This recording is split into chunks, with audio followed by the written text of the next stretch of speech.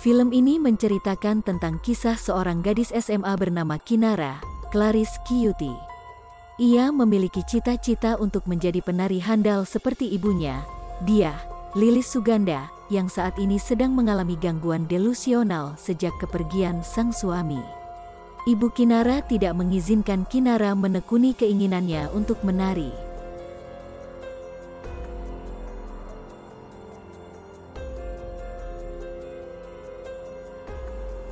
Namun, di balik keinginannya sebagai seorang penari handal, Kinara sama sekali tidak berbakat di bidang itu.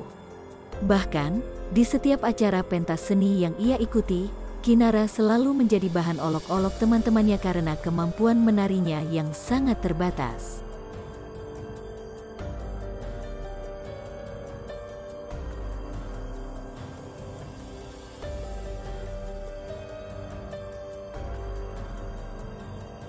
Hidupnya pun semakin berat dan aneh ketika ia bertemu dengan seorang perempuan bernama Kasmira.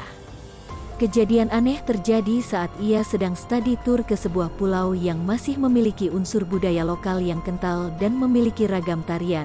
Kelompok tari mereka hendak mempelajari tarian tradisional lokal di pulau itu. Ia di sana mempelajari sebuah tarian kuno yang konon katanya sangat terlarang.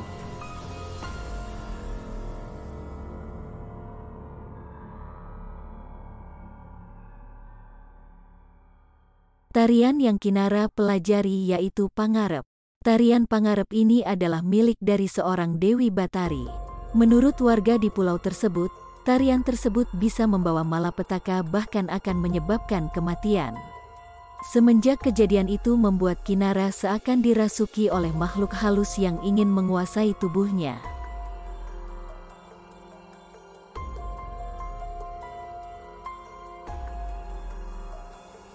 Kepulangannya dari pulau tersebut membuatnya menjadi penari handal. Kinara yang dulunya sering dirundung oleh teman-temannya karena kemampuan menarinya yang kurang bagus, kini Kinara menjadi gadis yang sangat mahir dalam menarikan segala jenis tarian dengan sangat lincah.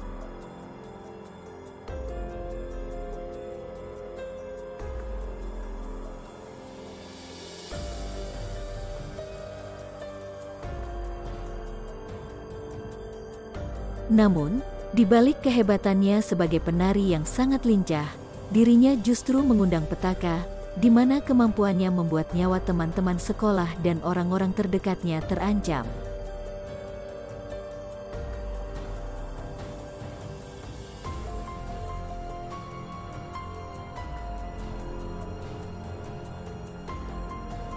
Lalu, bagaimanakah kelanjutan kisahnya? Apakah Kinara menyadari bahwa tarian tersebut merupakan tarian yang menyebabkan kematian?